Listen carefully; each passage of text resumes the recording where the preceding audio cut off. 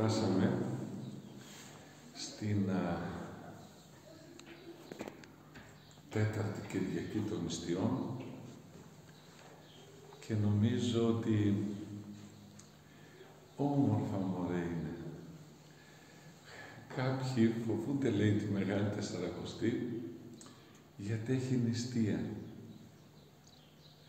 Λες και την νηστεία την κάνουμε με το ζόρι. Ή την νηστεία δεν την κάνουμε για το Θεό μας. Για το Θεό γίνεται η νηστεία. Αλλά όχι για το Θεό. Για την ψυχή μας γίνεται η νηστεία. Για μας. Για να αδειάσει από τα άχρηστα και να γεμίσει από τα χρήσιμα.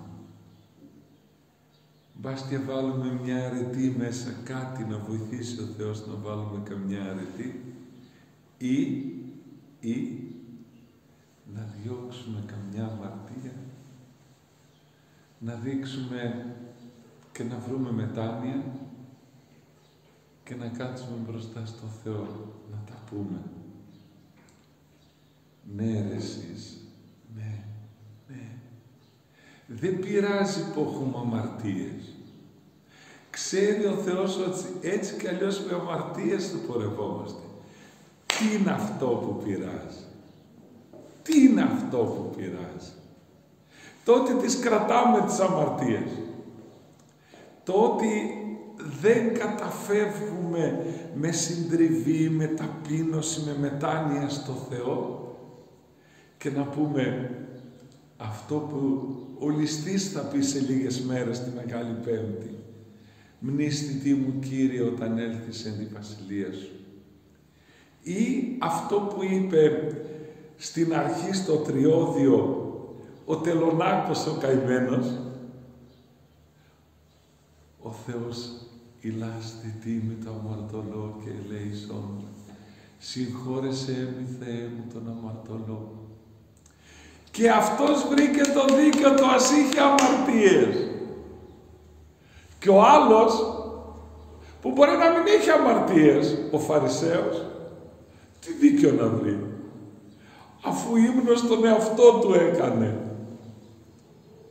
Γι' αυτό λοιπόν πορευόμαστε τη Σαρακοστή για να ακούμε τα τροπάρια, να θα ακούσουμε αυτήν τη βδομάδα, θα ακούσουμε το μεγάλο κανόνα τι υπέροχο, τι υπέροχο κομμάτι ο μεγάλος κανόνας. Πω, πω, πω, πω, τι γλύκα, τι ομορφιά, τι μετάνοια, τι διδάγματα έχει, πόσο γλυκαίνει τις ψυχές μας όταν τα ακούμε. Ελεησόν με ο Θεός, ελεησόν με, πόθεν άρξω με θρηνήν. Από πού να αρχίσω να κλαίω, λέει, τα στο αθλείο μου βίου πράξεις. Ποια να παρχήν επιθύσω Χριστέ, από ποια αρχή, που πού να αρχίσω. Και όμως δίνει θάρρος ο μεγάλος κανόνας. Βλέπουμε λέει αμαρτωλούς και τελώνες και μυχοί μεταποιούμενοι να αλλάζουνε και να παραδίνονται στο Θεό.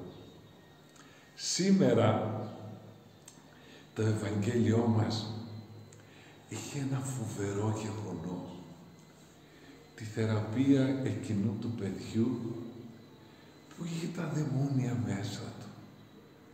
Διδάσκαλε αγαθέ, είναι εγκαπροσέ τον Υιόν μου έχοντα τα πνεύμα άλλα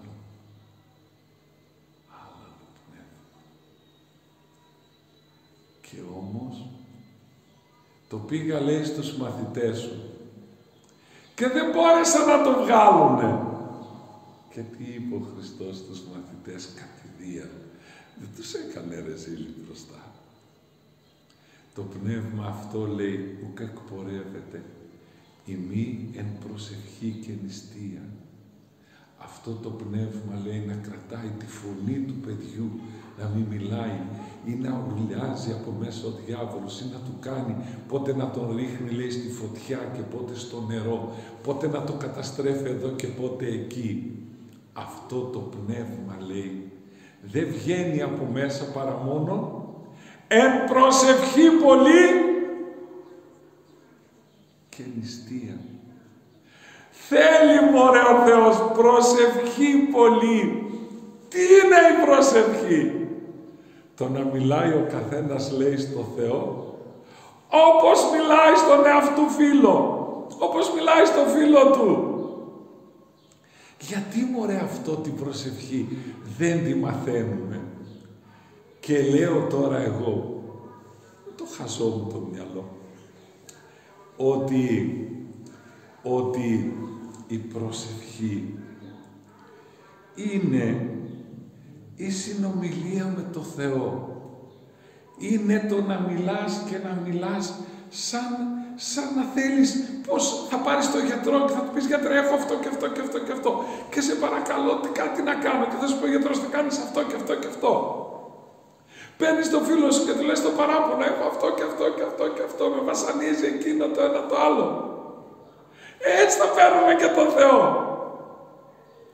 Και λέει ο Γεροπαΐσος σε μια έτσι εικόνα που την έχουμε εδώ στο ναό, λέει απευθυνθείτε λέει στο Χριστό με ποια συχνότητα όμως επειδή ήταν ο ίδιος διαβιβαστής και έχει τις παραστάσεις της, των διαβιβάσεων σε ποια συχνότητα λέει δουλεύει ο Θεός στην ταπείνωση και στην αγάπη άμα βάλουμε μέσα μας ταπείνωση και αγάπη ανοίγει το τηλέφωνο, ανοίγει η γραμμή και αρχίζουμε και μιλάμε με τον Θεό αν δεν βάλουμε ταπείνωση και έχουμε εγωισμό και έχουμε κακία και έχουμε μίσος και έχουμε έχθρα, δεν ανοίγει κανένα, κανένα, κανένα τηλέφωνο. Κανένα δεν ανοίγει. Γι' αυτό λοιπόν να τις βρούμε αυτές τις αρετές. Και επειδή δεν είναι εύκολο να τις βρούμε μόνοι μας, πάλι στο Θεό θα απευθυνθούμε. Σήμερα η Εκκλησία μας γιορτάζει την Τέταρτη Κυριακή. Δέστε τώρα, δέστε, δέστε, θα το πω. Πρώτη Κυριακή, Κυριακή της Ορθοδοξίας. Γιορτάζουμε την ίδια την Εκκλησία, την παρουσία της, τη διδασκαλία της, τα δόγματά της, τους αγώνες που έγιναν.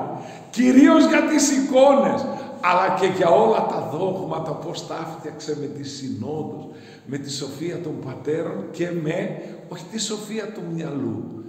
Ε, μη πάει εκεί, μη πάει σκέψας εκεί.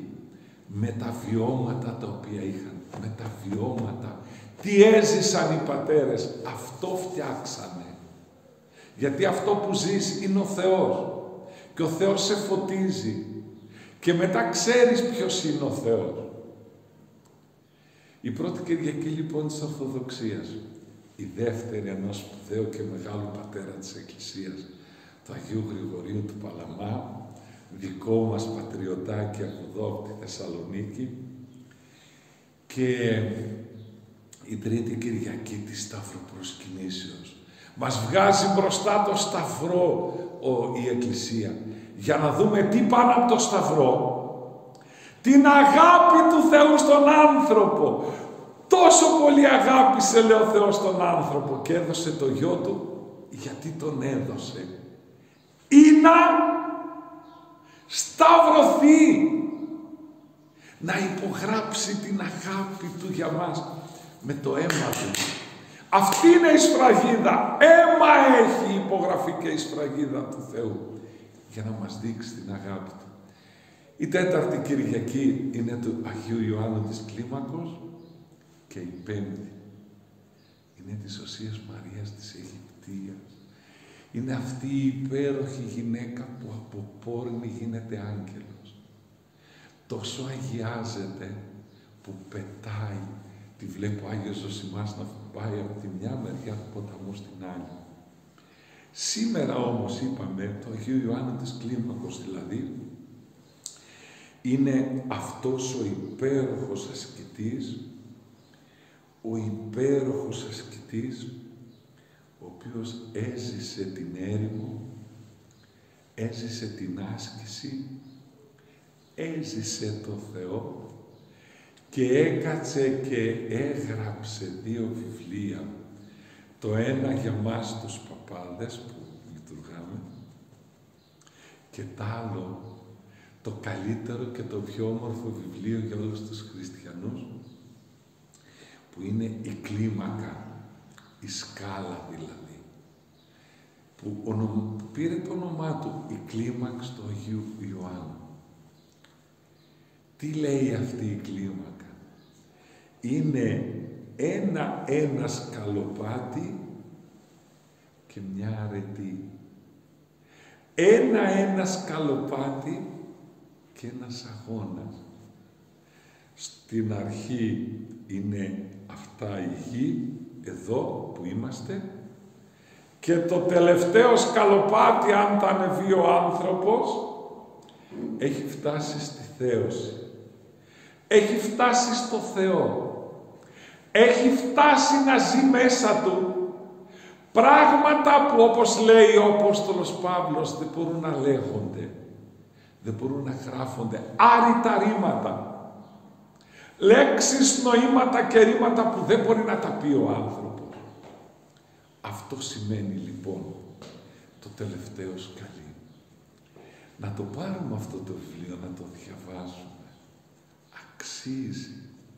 Και είναι, λέει, τόσο καλά γραμμένο γιατί ο Άγιος Ιωάννης της Κλίμακας ήταν πραγματικά και λόγιος ήξερε γράμματα, ήξερε την αγιοσύνη και μας άφησε όλο το το δω που στη μέση σχεδόν της Σαρακοστής, λίγο παραπάνω είναι τώρα από τη μέση, μας έχει δώσει τι βιβλίο να διαβάσουμε για να καλλιεργήσουμε την ψυχή μας; Να διαβάζουμε αυτές τις μέρες. Ξέρετε κάτι, εγώ το λέω συχνά, το λέω να το ακούσω εγώ πρώτα. Ο κορονοϊός που μας έχει τώρα κλεισμένος έξι μήνες μέσα. Όχι μια, δύο, πέντε, δέκα μέρες, ένα, δύο μήνες. Είμαστε έξι μήνες. Άραγε,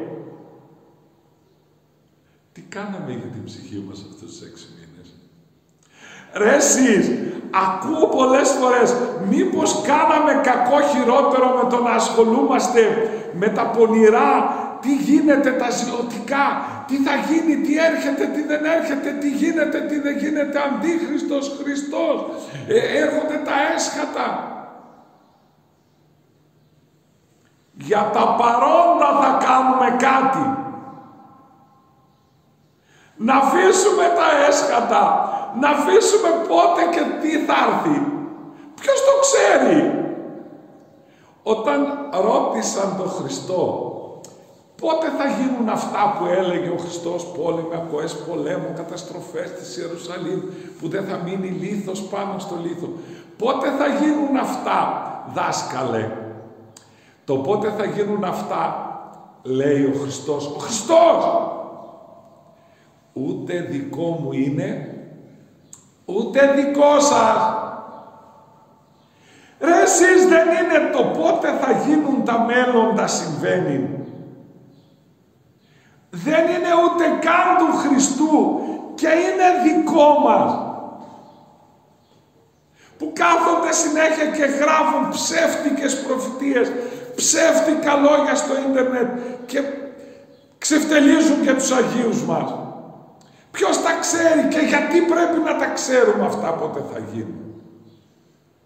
Αλλά του πέμψαντός με πατρός λέει ο Χριστός. Είναι λέει του πατέρα μας αυτά. Του, του Θεού.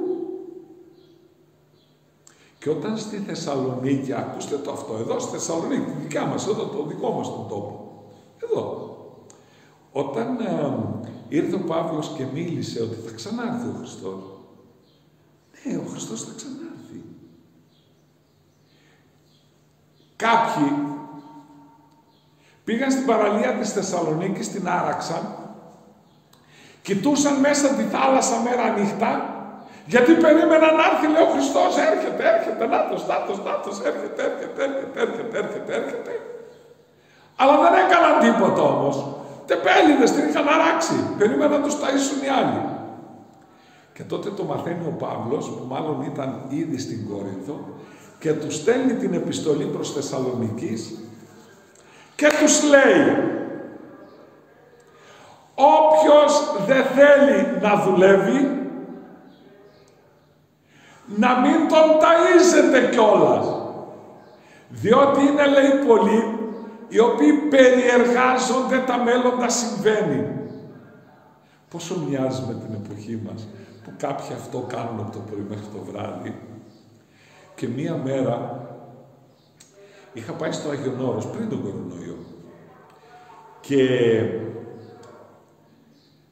γυρίζοντας με παίρνει χαμπάρι ένας τέτοιος και έρχεται τρέχοντας. Πες μου παπά, τι λένε στο Άγιον Όρος, για το 666, για τα έσκατα, για τον Αντίχριστο. Αυτά έρχονται, έρχονται, ήρθαν, ναι, είμαστε μέσα, πρέπει.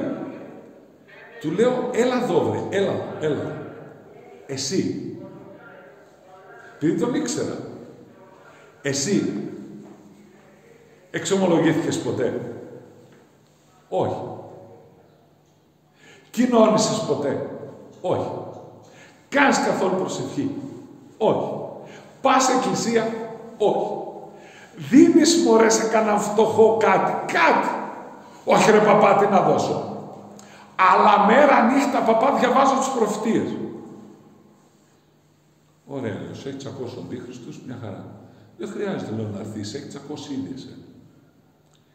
Γι' αυτό λοιπόν ταπείνωση, αγάπη, προσευχή στο Θεό και θα μας σκεπάσει ο Θεός.